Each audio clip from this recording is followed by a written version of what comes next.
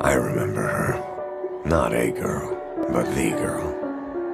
The brains behind the all-time top 10 comic book vixens only wish they could conjure a siren the likes of Susan Glenn.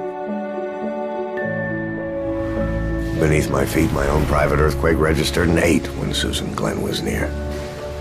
In her presence, all that was beautiful before she arrived turned grotesque, and in her shadow, others became goblinesque. If she approached, Susan Glenn didn't walk. She floated, accompanied by pyrotechnic spectacles that left me feeling a foot tall.